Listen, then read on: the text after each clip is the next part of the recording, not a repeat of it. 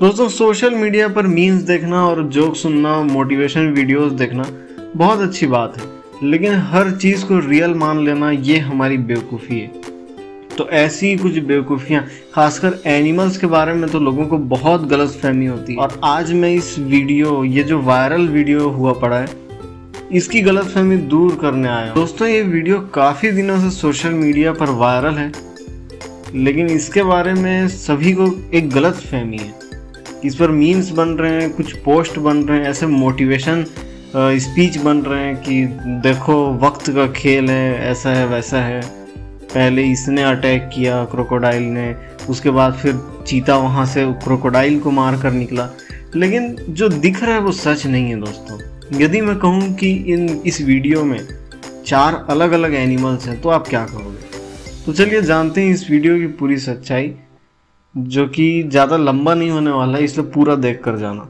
तो मैंने वीडियो की शुरुआत में ही कहा था आपसे कि इसमें चार अलग अलग एनिमल हैं। जी हाँ दोस्तों, इसमें चार एनिमल्स हैं, ना कि दो। पहले वीडियो को आप देखिए ध्यान से। ये जो पानी पी रहा है, ये चीता है, जो अफ्रीका में पाया जाता है।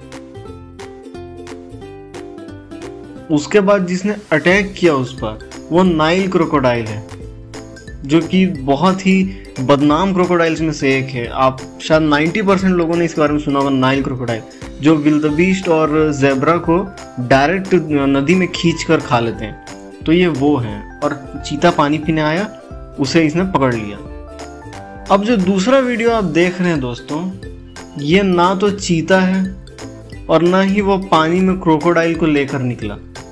ये जो एनिमल है ये है जेगवार ये सेंट्रल अमेरिका में पाए जाते हैं और साउथ अमेरिका में भी पाए जाते हैं। तो ये जैगवार है, ये चीते से दोगुने भारी होते हैं और बहुत बड़े होते हैं ये चीते के कंपैरिजन में।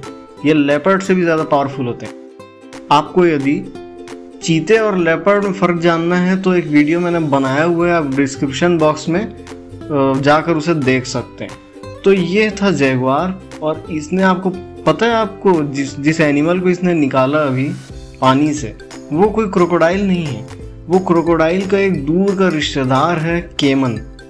और क्रोकोडाइल का ये छोटा भाई है, यानी कि एक छोटी सब स्पीशीज है क्रोकोडाइल की, जिसे केमन कहते हैं। आप अभी गूगल पर सर्च करके इसे देख सकते हैं। ये बहुत छोटे होते हैं क्रोकोडाइल की तुलना में। ये किसी इंसान को भी नहीं खा सकते। और चीते और जैगवार तो बहुत दूर की बात।